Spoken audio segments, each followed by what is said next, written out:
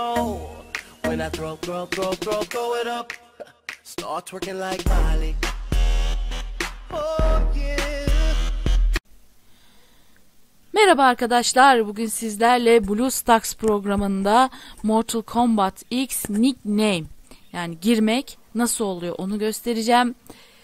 Ee, nasıl e, giriyoruz nickname'i? Ben bir sürü yabancı işte YouTuber'ın oynadığını gördüm.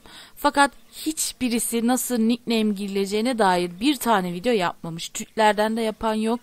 E, Bir de Türk hani artık videonun yorum kısmındaki cevapları artık nasıl hani nickname gireceğiz diye bir şey yapmış ki ben de bu bunun serisini çekeceğim için bilgisayara indirdim. Tabi ben de bir süre nickname giremedim. Çoğu kişiden yardım istedim ben. Bakın harici klavye indirdim. Görüyorsunuz o bile işe yaramadı ama en sonunda buldum.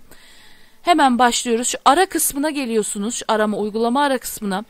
Şurada şurada keyboard klavye işareti var. Bakın. Fiziksel donanım diyor. Bakın donanım. Fiziksel klavye. Bunu kapalı yaptığınız zaman görüyorsunuz. Buradan istediğiniz gibi nickname girebilirsiniz. Her şekil yani Blue Keyboard o işte programı indirmenize hiç gerek yok. Artık bu şekil Mortal Kombat X siz de bilgisayarınıza oynayabilirsiniz. Ee, beni izlediğiniz için teşekkür ederim. Videomu beğendiyseniz abo- beğene, e, abonemseniz abone ola basabilirsiniz. Bu arada yanlışlıkla kırmızı şey gözüktü, çiz çerçevesi gözüktü. O kadar olsun. O yanlışlıkla oldu. Evet dediğim gibi abonemseniz videoyu beğendiyseniz beğene basabilirsiniz.